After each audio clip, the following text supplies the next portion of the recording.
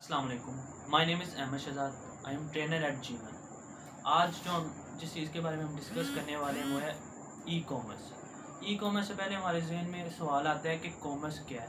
Commerce ہے کسی بھی چیز کی خرید و فروخت بائن اینڈ سیلنگ ہم فار ایگزامپل مارکیٹ جاتے ہیں مارکیٹ جا کے کچھ بھی خریدتے ہیں، اور جو بیچنے والا وہ بیچتا ہے مارکیٹ میں، وہ کامرس میں آ جاتا ہے۔ اور ای کامرس مطلب ای ساتھ لگ گیا، اس کا مطلب ہے انٹرنیٹ مطلب ہے online buying and selling ہم کچھ بھی آن لائن خریدتے ہیں، ہم کچھ بھی آن لائن بیچتے ہیں، وہ ای کامرس میں آتا ہے۔ اب اس کی تین بڑی ٹائپس ہیں آگے۔ B to B business to business B to B اس میں لیڈ کر رہا ہے، آپ نے نام سنا ہوگا علی بابا کا۔ علی بابا لیڈ کر رہا ہے اسے۔ ادھر بزنس مین ہی آتا ہے بیچنے اور بزنس مین ہی آتا ہے خریدنے۔ ادھر ہم جیسے لوگ خریدنے نہیں جاتے، ادھر بلک میں چیزیں ملتی ہیں۔ ٹھیک ہے نا؟ تو ادھر بزنس ٹو بزنس ہے وہ۔ بی ٹو سی آ جاتا ہے۔ ہمارے پاس، ہمارے ملک میں مثال ہے دراز کی۔ انٹرنیشنلی جو لیڈ کر رہی ہے وہ امیزون ہے. امیزون لیڈ کر رہا ہے. ادھر بزنس ٹو کسٹمر ہے. ٹھیک ہے نا؟ دوسری ٹائپ ہے. تیسری اس کی ٹائپ ہے سی ٹو سی وہ ہمارے پاس مثال ہے اولیکس اولیکس کسٹمر ہی جاتا ہے اور کسٹمر ہی خریدتا ہے. مطلب کسٹمر ہی بیچتا ہے اور کسٹمر ہی خریدتا ہے. وہ سی ٹو سی ہے. اب اگر ہم اس میں بات کر لیں بزنس ٹو کسٹمر میں امیزون کی امیزون مطلب آج کل ہاٹ ٹاپک ہے، سارے اس پہ کام کرنا چاہتے ہیں، کیونکہ ارننگ ڈالرز میں ہے اور ہر کوئی ڈالرز میں کمانا چاہتا ہے، کیونکہ جب کرنسی کنورٹ ہوتی ہے تو پیسے زیادہ بنتے ہیں روپی میں زیادہ پیسے ملتے ہیں، تو ہر کوئی چاہتا ہے ہم ڈالر کمائیں۔ تو وہ پھر امیزون پہ، دراز پہ ڈالر نہیں ملتے، تو ہر کوئی نہیں چاہتا کہ میں دراز پہ کام کروں۔ جس کے پاس کم انویسٹمنٹ ہوتی ہے، وہ ادھر کام کرے اور جس کے پاس زیادہ وہ دراز پہ نہیں جاتا، وہ امیزون پہ جاتا ہے تاکہ میں ڈالر کماؤں۔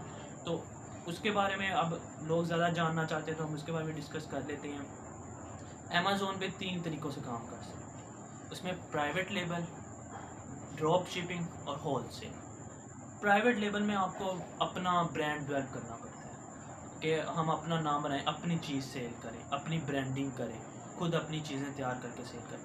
ہول سیل میں جس کی ڈیمانڈ ہے وہ چیز آپ سورس کر کے امیزون پہ سیل کرتے ہیں ڈراپ شپنگ ایک مطلب ٹوٹلی علیحدہ چیز ہے۔ وہ اس میں آ جاتا ہے کہ چیز آپ کے پاس نہیں ہوتی۔ آپ جس کے پاس ہوتی ہے اسے کانٹیکٹ کرتے ہیں، جسے چاہیے ہوتی ہے اسے بیچتے ہیں۔ پیسے آپ کے پاس آتے ہیں، آپ انہیں سینڈ کر دیتے ہیں۔ کچھ لوگ کہتے ہیں کہ یہ مطلب نہیں ٹھیک۔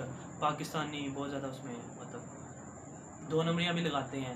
لیکن جو سب سے آسان ہے وہ ہول سیل ہے۔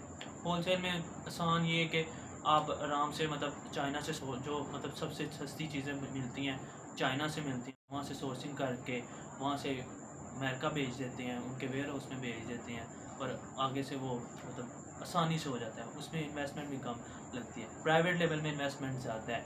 لیکن اس کو سارا مطلب مینج کرنے کے لیے بڑی زیادہ چیزیں سیکھنی پڑتی ہیں ٹولز یوز کرنے پڑتے ہیں۔